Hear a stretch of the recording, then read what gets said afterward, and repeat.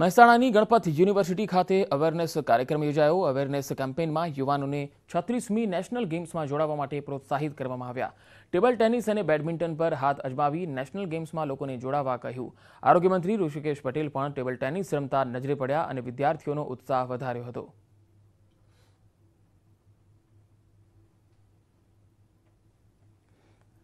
ગુજરાતમાં યોજાનારી છત્રીસમી national games અંતર્ગત વિવિધ શહેરોમાં વિવિધ રમતોનું આયોજન થઈ રહ્યું છે. વડોદરામાં પણ હેન્ડબોલ અને જિમ્નાસ્ટિક રમતના સમા ઇન્ડોર સ્પોર્ટ્સ કોમ્પ્લેક્ષ ખાતે આયોજન થયું. ત્રીસ સપ્ટેમ્બરથી ચાર ઓક્ટોબર સુધી હેન્ડબોલ, જ્યારે છથી બાર ઓક્ટોબર સુધી જિમ્નાસ્ટિકની સ્પર્ધા યોજાશે, જે માટેની પણ સંપૂર્ણ વ્યવસ્થાઓ થઈ ચૂકી છે.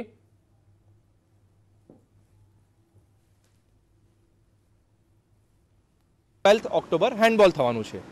એની તૈયારીમાં તમે જોઈ રાખશો કે જેટલું બી અમારું કામ છે, જે કે જે સ્ટેન્ડર્ડથી નેશનલ ગેમ થાય છે, એ રીતે અમે કરી રહ્યા છે. જેમાં કે કલર કામ છે, જેમાં કે અલગ અલગ ડિવાઈડરનું કામ છે અલગ અલગ બ્યુટિફિકેશનનું કામ છે, એ અમે કરી રહ્યા છે.